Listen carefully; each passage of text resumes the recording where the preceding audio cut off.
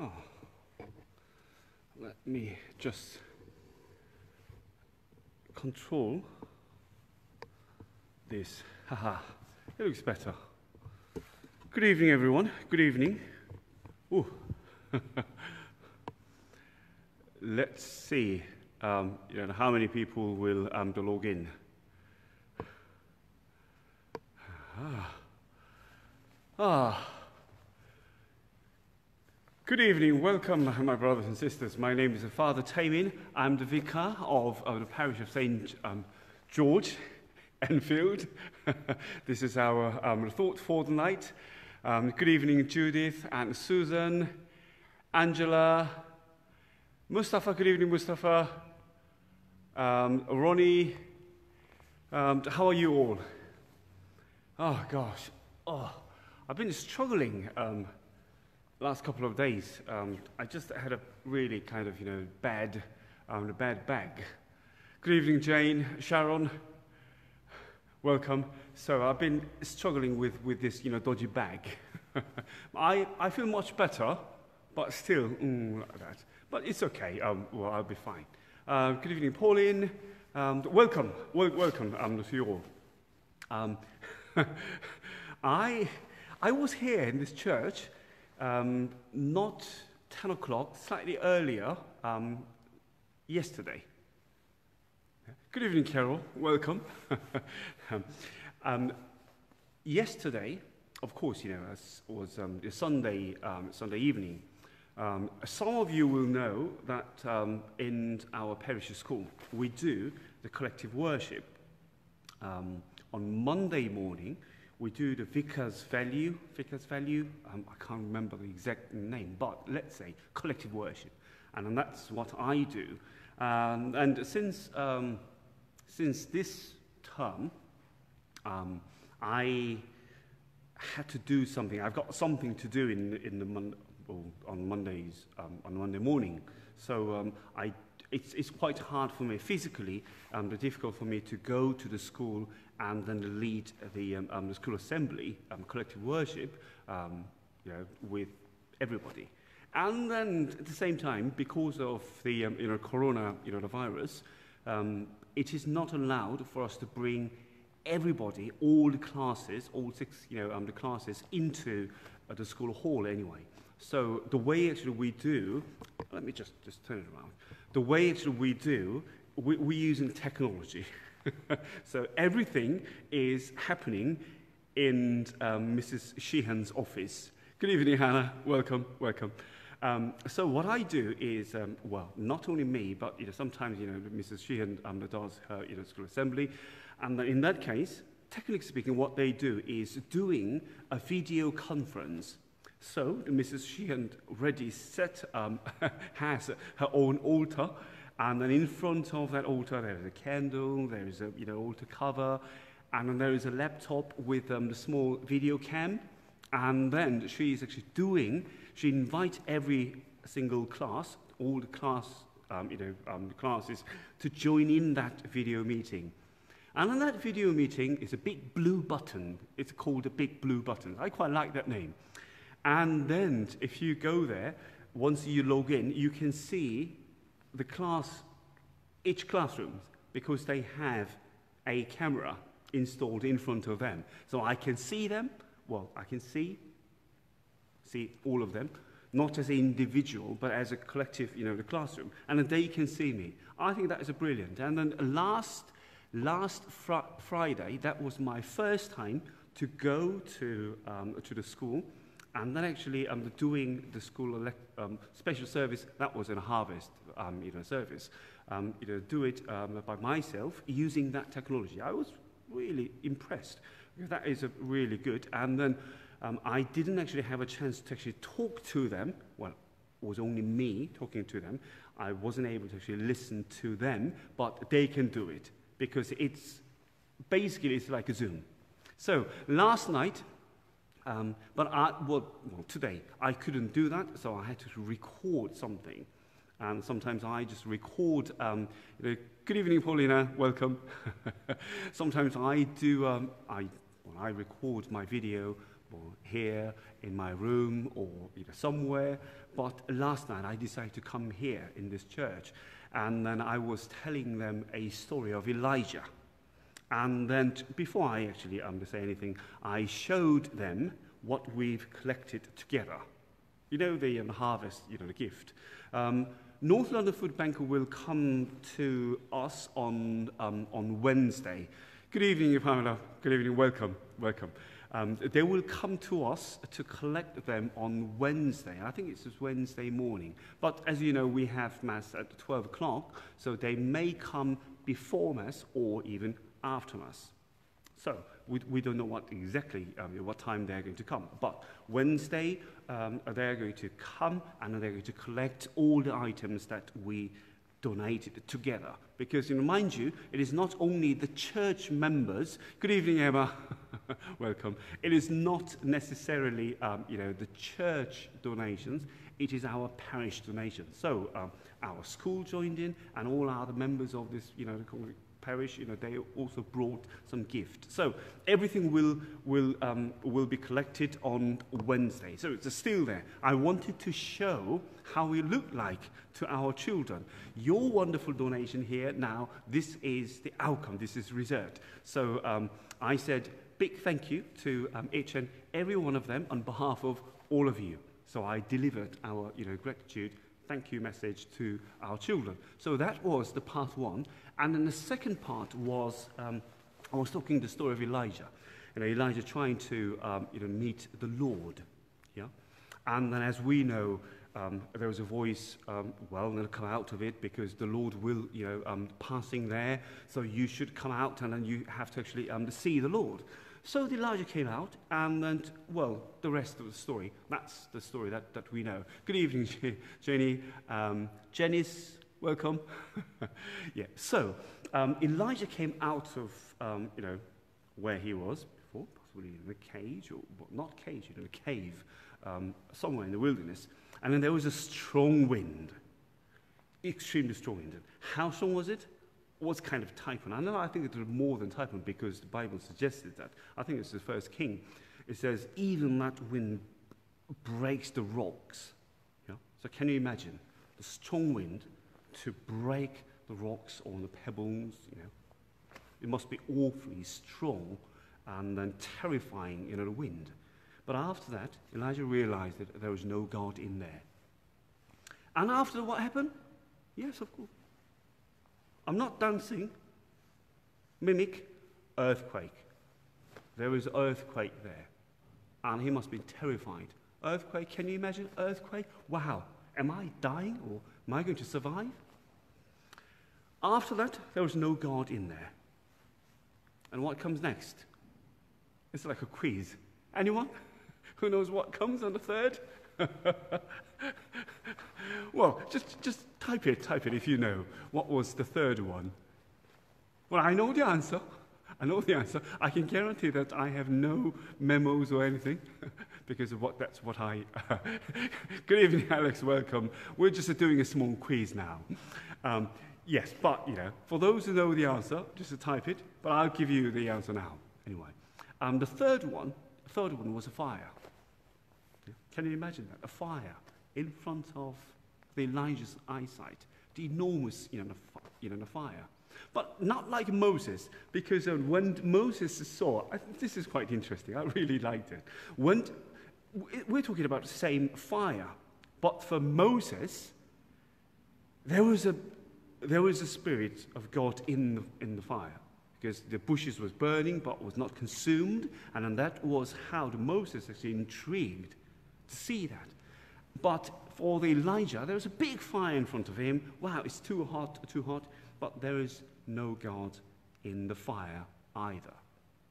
So, after that, what comes next? Good evening, Madeline. Welcome, welcome. There is a quietness. Actually, the Bible says uh, there was a voice, a thin and quiet voice. So I assume that that was a kind of you know, a peaceful moment. After the strong wind, earthquake, and then a fire, after that, there was no God in them. but God was showing his existence in silence. And then there was a voice, you know, um, Elijah, what, why, what, are you doing here? You but, but that conversation is, is not what I wanted to share anyway. So I stopped there. And I just told them um, in my recording, collective worship, well, sometimes it's really important for us too. um, yes, in the Mount Sinai, but it's important for us to keep quietness. And how many times do we say, now let us keep some quietness and then let us offer our prayers or something like that? How many times do you hear I say, or the, myself, or Father Vince, or other churches, you know, other ministers, priests, you name it? How many times we as ministers encourage people to have a moment of quietness, to bring, to, to help them ready to offer prayers or help them to go into the worshipful um, you know, status. I think it's enormously important under for us to have that moment in our own lives. I know if you can actually manage to go to um, you know, a retreat, for example, I prefer, I prefer silence retreats than just normal retreats. Because for me, um, switching off everything from everything and I just don't say a word, that is the best way for me to recharge my spirituality, as it were. the more I talk, is, is, is less I enjoy in terms of my retreat style. Um, fishing, for example. you know I love fishing. Yeah. yeah. Oh, by the way, last week I was successful. but fishing, I don't talk to other anglers much. I, I prefer to be there and just not just switched off, not thinking about anything. And, and that was, is, is, is a healing for me. But some of you may feel, oh, that's a bit boring. I love to have a conversation with others, and that is helpful for me to regain the energy. That's absolutely fine. And then, is it why monks are silent? Yes, I think so, Hannah. Because even that keeping silence, I think, um, it's not only for the, for the Christians. I think if you see um, the monks or the Buddhist monks, for example, they use anyone who does uh, the meditation, form of meditation, the concept of meditation and then having, keeping some silence in, in, a way in their own lives, I think that works, works well. So anyway, um, that was the message. So, dear my children, you know, they, uh, don't forget that, you know, after that silence, and then, you know, Elijah could actually meet the, you know, meet meet the Lord, and etc. So, shall we actually be try to be a very sort of you know um, you know um, quiet for 10 seconds? And then I even didn't actually count the 10 seconds with my mouth. I used my hands. So, shall we begin 10 seconds yet? Yes, I know you can do it. Yes, some the ready, ready. Okay. Mm, I'm, I'm just a fast forward. Mm, now, 10 seconds. Now, I'm going to invite all of you to join me in saying the prayers. It's something like that.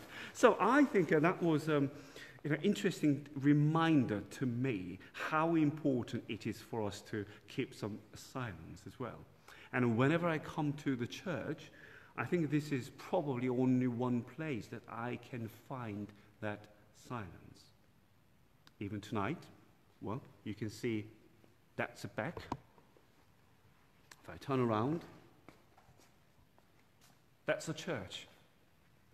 What do you expect if you're coming to the church in this time? Silence. Well, actually, normally this is very quiet, but um, not today, because um, outside of our church now, if you see the in barrier and out barrier, people installed, the council installed um, the new traffic lights. So um, Because if there is a cars or any sort of motorcycles, you know, any vehicles driving really fast, and if they realize that the suddenly um, traffic light changed, they have to stop. And that if the surface, um, if the road is very shiny and then you know, slippery, they can't really stop it um, you know, within short range. So they are now actually putting some special surface materials uh, in front of that traffic light. So uh, our barrier at the moment Um, you can't go out, you have to go out the other way around because they're actually working. So, workmen there, so they're doing some, you know, road work, so it's a bit noisy, so it is not that quiet tonight. But I think they stopped. They may actually be watching this. Who knows? But usually, this is the time or this is the moment when I can, um, you know, come um, command, then I can um, enjoy some of you know, silence if necessary. But that is me. Um, that was um, my teaching. Um, this is message. That is the message that I shared um, with our, you know, the children. There's another reason why I decided to come to this spot actually for the for the um, um, for tonight's you know thought for the night, because there is something that I really wanted to show. Well, that's not the collection because you already have seen, you've seen that collection, how it looked like. If you haven't seen um, and um, that, Jane, you never know. Yeah, who knows? The good Christians out there watching the Vicar's Thought for the Night. who knows? but anyway, the collection is not something that I wanted to show you tonight. Rather, there is something that I wanted to show you, and then that's why I've come here. Um, before I show you what I wanted to show you, I'd like to ask you to see this. You know, see, see this altar. An altar rail, we have altar rail, and in our church, especially the choir stalls, there, and then also the. Um, um, can you see this screen there? That's um, pipe organ screen. It's all brown, dark brown. Good evening, Madeline, welcome. It's, it's all dark brown. But in the church, well, that screen actually used to be a much, much lighter color. And I didn't like it because if you sit down there in the church and then you will end up seeing, spotting one, two, three, four different types of color here. So I didn't like it um, at all. So I asked, um, you know, um, the church warden, and we had a conversation about how we're going to make our church, especially the altar side, unified. I think that is quite, you know, important. And then, as you know, we don't have that many ornamental, you know, you know, displays here in this church. It's rather kind of simple. We are big, we are quite large church, but we don't have um, beautiful reredos or anything. We have some items, but our church is not heavily decorative church at all. We're quite simple, not like our, um, let's say, our neighboring parish. You know, for those who have been to um, the St. Peter and Paul's Church, so if you haven't been there, um, I, I would recommend you to visit their, you know, the, you know, Facebook, you know, the page, and then just, just watch one of their, their live streamings. You will be able to see um, at the back, they have a beautiful reredos it's quite big, really big, about that size, about the size of our reredos, but that is different level. It's beautiful, but we don't have such you know, wonderful items there. So I quite envy them. But this is what we have. But within our ability, I believe we have to make sure that we make our church look best within our you know, the limits. We don't need to actually spend huge amount of money to buy the same style of reredos because that's not what we want. Yeah? So, we have been working hard to make some changes so that we, well, the altar, you know, this side of the church may look better. So the screen that I showed you is the first step. So now, as you can see, brown, brown. It looks a bit darker actually, but with this camera, with my mobile phone camera, it looks a bit brighter. But if you see them from, the, from your seat, that will look much, much darker than this, this color now. So we have fairly unified um, you know, color until, um, until from there up to there. But do you remember? organ, our pipe organ. we have pipe organ, which is working, and in working condition, it is good. I'm, I'm, I, I quite like this you know, organ. It's okay. And then this organ, particularly, um, has been maintained by so many people. Um, for example, you know, um, the Norman Pickworth, um, Um, he died um, you know, several years ago, for example, in a Norman Pickworth and others. Uh, he was the one who was looking after these organs. Um, Peter Tongue and etc. you know the names better than me. So um, there are lots of people who are looking after this organ mechanically, but outside the organ box, the color was a bit, how can I put it there? It's a kind of like a curry, curry color. Yes, of course, you know, um, you know, the carol, we missed the organ, organ sound, but it is working, and I have to say, it is working. Um, who knows, we, will have, um, uh, we may have to have um, organ sound back. But anyway, the color was brown here, and then the organ box itself was curry color, completely mismatched. So, so that has been on my to-do list for a long, long, long time. But finally, and then this is reason why I decided to begin from there. I cannot show you. I have to keep it secret. Are you ready to see how it looked like? Oh! Tron! Don't surprise. Now, it looks like, um, um, you know, um, it, it's grey. Yes, it is grey now.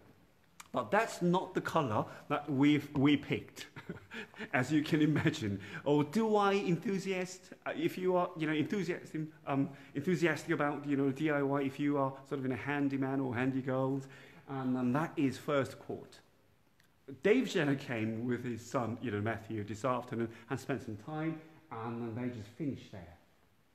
And uh, we're going to try to paint it brown dark brown so that we can have the matching color from this organ set all the way back to that area. So whole church, the whole church here, if you sit at the back, you're going to see this church now has the unified color. Of course, if there are some items, something like this. This is where we keep our frontal and superfrontal. Do you know what the frontal and superfrontal means? If you see the altar, sometimes you see there is a big drop depending on the season. Now is the time of season is green, so we should have a, a green um, you know, drop, and that is what we call the frontal. And if you see that part, there is a top bit, there is a kind of skirt um, running, and that is a superfrontal. So we keep them in this box, but not that's the darkest spot, spot this one, that's a speaker. We keep them here in this box, but I'm sure that we're going to actually make it a bit darker than it looks. So that is um, the reason why I decided to come here and then do the thoughts for tonight, tonight, so that I can tell you, I can show you what's happening in the church. Everybody's saying that, okay, the lockdown, the Father's Heaven, you must be um, you know, quite busy. Um, yes, in a way. yes, I'm, I'm, I'm, sometimes I feel I'm, I'm busier than usual, yeah, because we have to deal with new situation. It's not only me, all the vicars in the world are probably doing exactly the same thing, and I know you are also doing the same thing.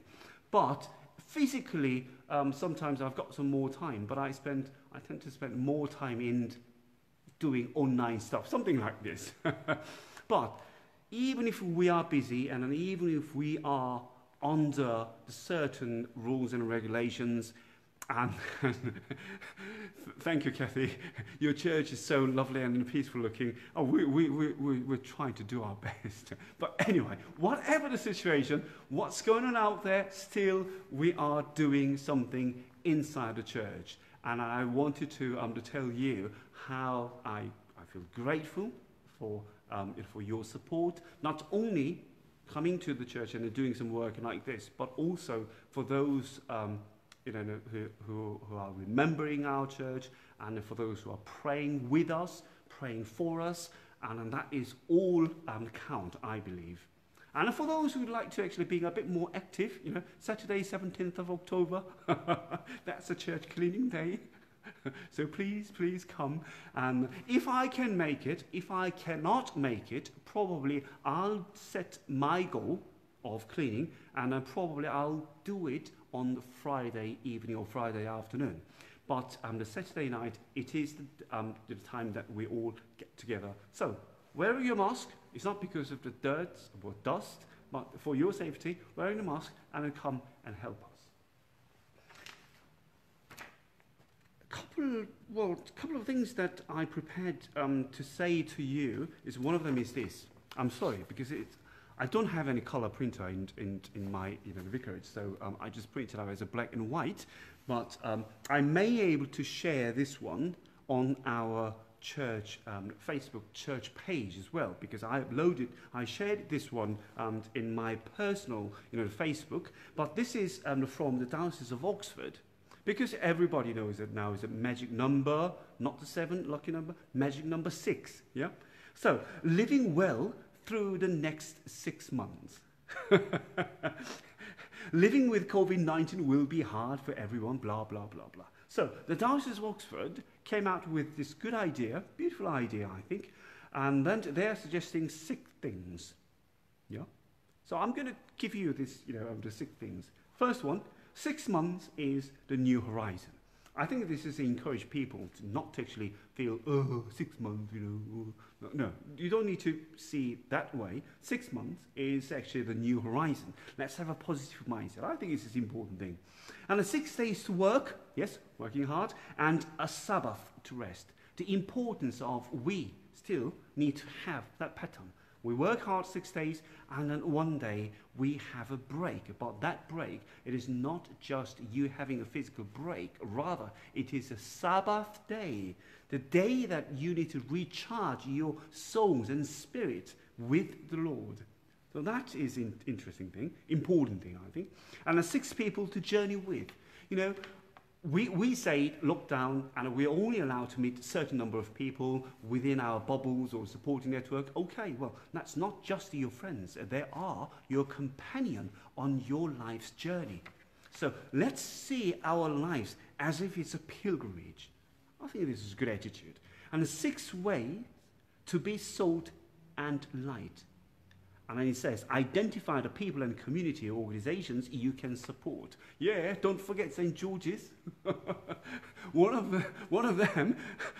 so you may find another, you know, the five organizations so that we can carry on supporting others.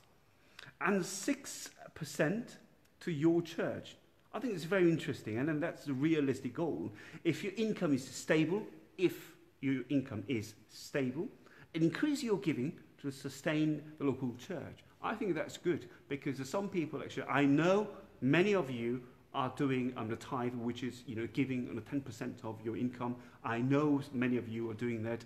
I um, also do that. So thank you very much for your generosity. But if you haven't been in that way, why don't you try to, if your income is stable, and it suggests that um, increase your giving to the 6% um, to your church. And I think that is a very you know, generous you know, um, idea. And also the last thing, six people to pray for. As I briefly said, that is encourage people to actually see our life as a pilgrimage. So, in our pilgrimage, we need to think about other people whom we can actually pray for. And find the six people. Find six of them. One. Or five. Or four. Oh, no, no, no. Six. Six. Find the six people and then get their names. Take their names down and then seriously, you just pray for them. It doesn't need to be the Christians. If there is non-Christian people, but you think, okay, what if that person, my friends, you know, George or John or Sandra or whoever, what if she or he becomes Christian? That would be wonderful. In that case, put their names down and for the next six months, we pray for them. I think that these are the great suggestions, and I'd like to encourage, well, I'd like to actually love, I'd love to actually use some of them as our own campaign in St. George's. The first one is going to be, well, working hard six days and then you know, um, one Sabbath day, probably. But the second, um, possibly if it's not first, I'm going to probably pick um, the last one. Take six names whom you'd like to pray for. So tonight, um, I'm going to suggest to you, don't go, well, well, you don't need to actually put your pen and papers now and write down, beginning to write down the names. You don't need to do that. Think about it. Ask the Lord, ask Jesus to give you those six names. He may tell you something in spirit. So I'm going to encourage you to find the six people whom you would like to pray for. Okay, that is going to be, that's not difficult, easy. If you can actually write it down now, you can do it, but leave it until tomorrow morning. Okay? Well, have a lovely dream, and then they may actually come come come up to your um, your dream and then may say, "Oh, let's say, um, Mustafa, I want you to pray for me." and uh, if you have any sort of extra two lines or something, please don't forget to add the name of your priests as well, myself and Father Vince, or your own local church because who knows, or someone whom you knew from your previous you know, church. So don't forget to add you know, my name. That would be wonderful. It's not compulsory though. Okay. Now, dear my friends, um, it's a time for me to um, say um, say the prayer. Oh, by the way, in order for me to um, enjoy the silence, in order for me to enjoy the silence, I decided not to use my guitar. Well, it's not my guitar. It actually belongs to um, the Ron Beckwith. I borrowed it. But instead, um, me um, using um, that guitar and a sing along, I'm going to just use my own voice. Well, I hope um, you don't mind. Um, I don't have, I haven't actually brought my microphone, so the sound quality today is not that good. I know that, but I'm going to move to,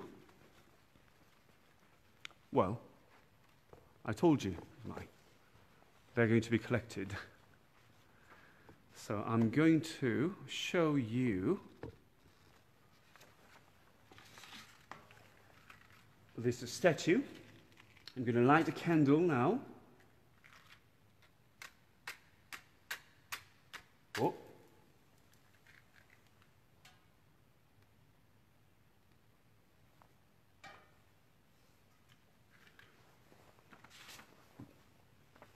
Ah.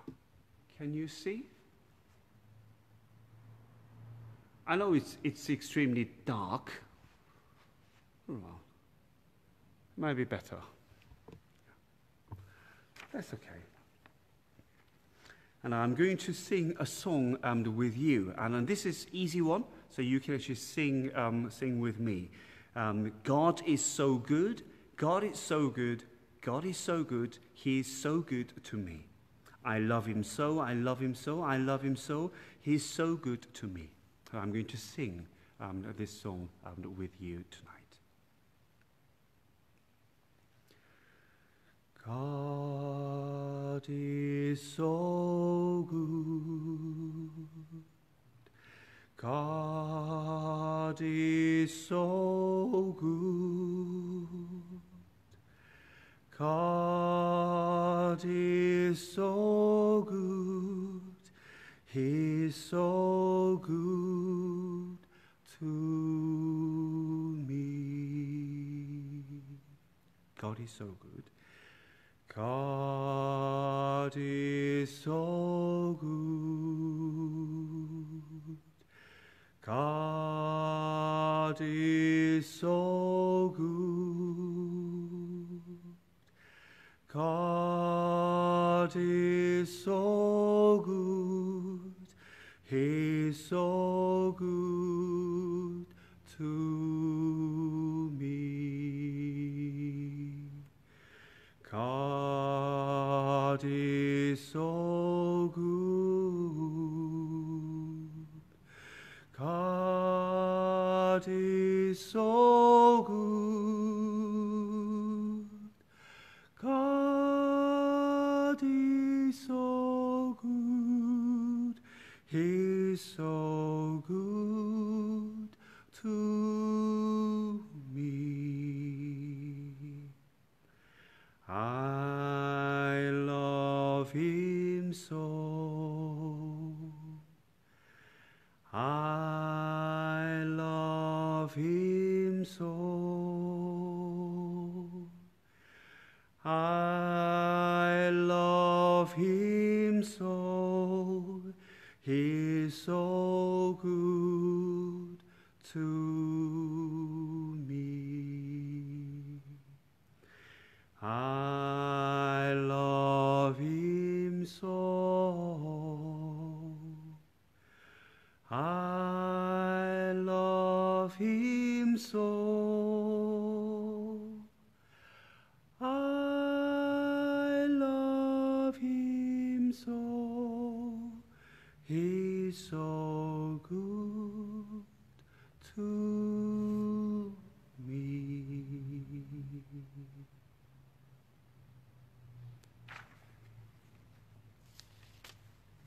Let us pray.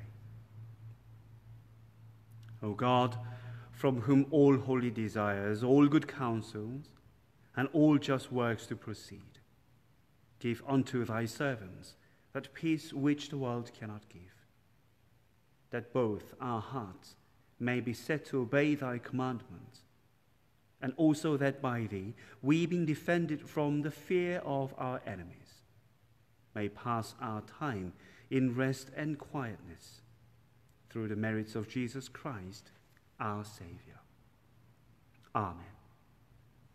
Enlighten our darkness, we beseech thee, O Lord, and by thy great mercy, defend us from all perils and dangers of this night, for the love of thy only Son, our Saviour, Jesus Christ. Amen. Now we say the grace together. The grace of our Lord Jesus Christ and the love of God and the fellowship of the Holy Ghost be with us all for evermore. Amen.